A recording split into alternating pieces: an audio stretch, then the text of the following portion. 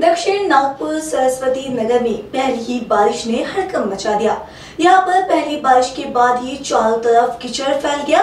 वही रास्तों पर भी जगह जगह पानी भर गया है और कीचड़ का साम्राज्य है। दक्षिण नागपुर के सरस्वती नगर और शिव शक्ति नगर में सड़कों की हालत बेहद खराब है। यहाँ जब मानसून शुरू हुआ तो पहली ही बारिश में सड़क की हालत ऐसी हो गई है।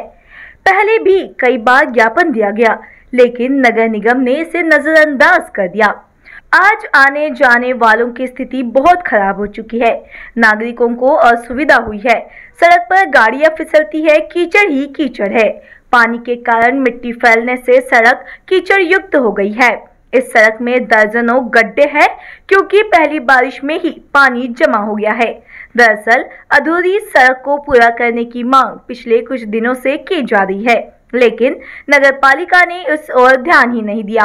अब तो बारिश भी शुरू हो गई है, पर देखिए क्या स्थिति है।